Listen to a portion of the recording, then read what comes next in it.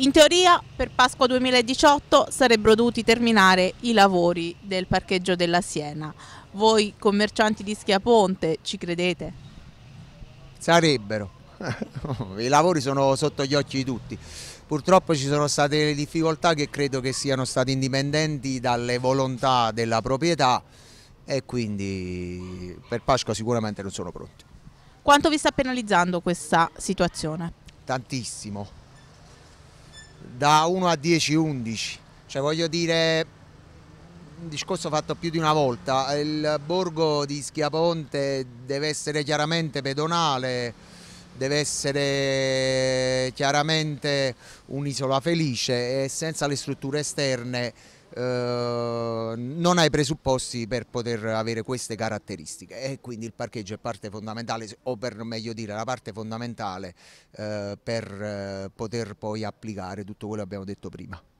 Lo ha detto lei, un, il parcheggio comunque è un'infrastruttura privata fatta su un terreno privato, ma voi sentite la latitanza del comune e dell'amministrazione? Noi sentiamo dell'errore perpetrato nel tempo, cioè voglio dire, non è, non è nell'amministrazione di, di, Enzo, né quella di Giosi, né quella di Peppe e di tutti quelli che sono venuti prima. Se proprio c'è un'assenza eh, sta nel fatto che forse bisognava anni e anni e anni e anni fa, ma neanche tantissimi, forse una ventina, quando Scalfati, allora proprietario del terreno, cedette il terreno neanche per una cifra enorme, non so se si sarebbe potuta fare una di quelle classiche opere di esproprio, non voglio entrare in questo particolare, però chi amministra già da allora fino ad arrivare adesso avrebbe dovuto pensare a una proiezione per la zona e quindi appropriarsi, acquistare il parcheggio. Chiaramente adesso il parcheggio è anche una proprietà privata e come dire, mm,